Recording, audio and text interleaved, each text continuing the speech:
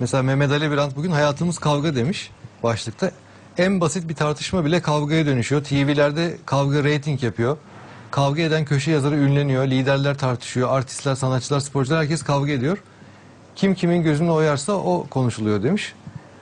Aynı şekilde yine Can Dündar da hocam Milliyet Gazetesi'nden aynı bu öfke olmaması, sizin söylediğiniz şeyleri tekrarlayan bir yazı yazmış. Rauf Temer yine Hürriyet'ten aynı şekilde sevgi ve saygıdan bahsedin diye şeklinde. O Bak hayret bak daha iki gün oldu ben bunu açıkladım. Bir, bir hafta önce de yine açıklamıştım ama daha yeni toparlandılar.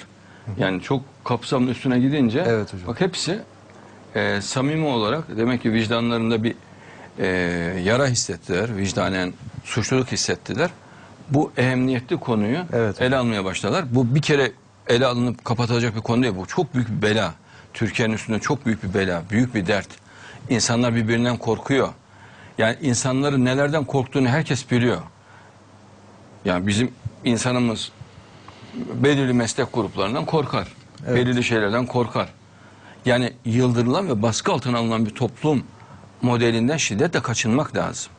İnsanlar korkutmak çok büyük vicdansızlık. Yani korku nefreti getirir. İnsan korktuğundan nefret eder. Ve kinlenir korktuğundan.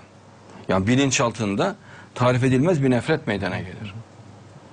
Yani bu mesela bu iktidara da yansıyor. Yani insanlar korktun mu e, bu tip şeylerden kendini kurtaracak kişiyi, kurtaracağını umduğu, az da olsa kurtaracağını umduğu kişiyi iktidara getiriyor. Evet. Mesela Adnan Menderes döneminde halk feci şekilde korkutuldu. Yani acayip üstüne gittiler halkın. Halk ne yapacağını şaşırdı. En sonunda Adnan Menderes'e razı oldular o dö- dönemde. Evet. Yani hiç olmazsa o bizi kurtarır gibi. Çünkü daha ılımlıydı. Daha az e, acı çekeriz gibisinden onu iktidara getiriyor. Yoksa Adnan Menderes'i ne tanır halk, ne bilir, ne de yeteneklerini bilir. Yani yetenekli bir insan da değildi. Yani öyle bir olağanüstü yetenekleri olan bir kişi değildi Adnan Menderes. Sadece biraz sevgiyi, biraz şefkati onda gördükleri için, biraz koruyuculuğu gördükleri için e, bizi belki korur düşüncesiyle onu iktidara getirdiler. inşallah. AK Parti'nin iktidara gelmesi sebebi de odur işin doğrusu. Yani İslam'a, Kur'an'a sahip çıkar. Müslümanlara sahip çıkar. Korku ortamını daha azaltır düşüncesiyle. Evet. Yani insanlarda çok güçlü bir içgüdüdür korku. En güçlü içgüdüdür. Korkuyu kim kaldırırsa insanlar o tarafa doğru gider. Yani korkuyu şiddeti gösterten, kabadayılığı ortaya koyan, bağırtıyı çağırtıyı ortaya koyan, korkuya korku katacağını, şiddete şiddet kat- katacağını gösterten kişiler eee, sonunda hizmete uğrarlar söyleyeyim. Evet inşallah. Yani bizim şi- milletimiz şiddeti gördüğümüzde o bilinçaltına yerleşir ve asla unutmazlar şiddeti. Mesela bak bize 99'da yapılan uygulamayı bizim halkımız unutmadı. Tabii. Yani sesi sedası seyrettiler ama unutmadılar.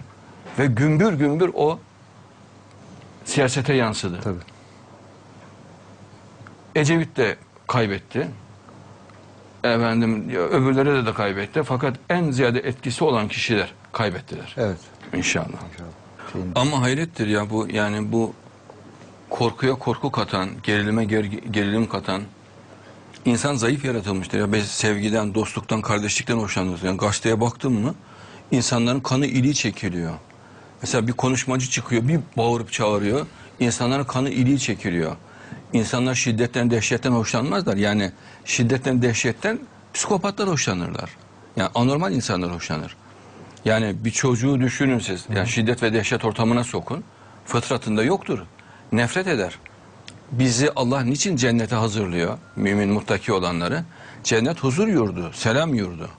Biz orada güvenliği bulacağımız için huzuru, sükuneti, nezaketi, şefkati bulacağımız için e, o güvenli ortamın zevkini tadacağımız için bize cenneti Allah teklif ediyor. İnşallah.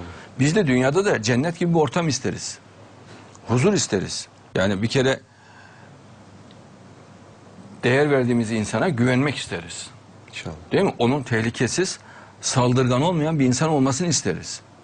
Yani saldırgan insan bugün ona saldıran bir başka gün bana saldırır, bir başkasına saldırır. Yani saldırganın e, ne zaman ne yapacağını biz bilemeyiz ki. Yani ona saldırır ama bana saldırmaz diyemez bir insan. Tabii. Yani çünkü fıtratında saldırganlık olan illaki saldıracak birini bulacaktır. Ve insanlar kendini güvende görmez öyle bir ortamda. En güzeli şefkattir. Ee, yani işte benim demek istediğim bu. Yani olay hep din ve maneviyat ve mukaddesat üstünde dönüyor. Evet hocam. Mesela Adnan Menderes'in iktidara gelmesinin sebebi halkın dindar olmasıdır. Başka bir nedeni yoktur. Ve halkın özgürlük ve sevgi istemesidir. Özgürlüğü, sevgiyi, mukaddesatçılığı kim millete sunarsa o iktidar olur. Onu söyleyeyim. Kim korkuyu, dehşeti, bağırtıyı, çağırtıyı, eziciliği halka gösterse halk bilinç altında kinlenir. Ya sessiz sedasız bizim milletimizin kini gizli olur. Bir kısmının bir kısmının da açık olur. Bir kısmında hiç olmaz. Ama bu yansır. Tabii. Yani kin derken buğzu, kalbindeki öfkesi. Bizim elimiz dikkat etseniz çok sessizdir. Tabii. Sakin. Ha, mesela tam diyor ki ya diyor, gürül gürül iktidara gelir diyor. Aa bakıyorsun 0,1 oy vermiş adama. Çok sevildiğini zannediyor o. Yani şiddetle, baskıyla, olay çıkartmakla. Mesela Saadettin Tantan kahraman olduğunu zannetti. Halbuki halkımız bize yaptığını unutmadı Tantan'ın. Ve onu al aşağı etti milletimiz. Tabii. Aldığı oy 0,0 bilmem kaç. işte bak karşılığını aldın. O parti kurup e, bize yaptığı olaylardan dolayı e, milli kahraman olduğunu zannetti. Milli başka bir şey oldu o. Yani bambaşka bir şey oldu. Ve milletimiz ona haddini bildirdi.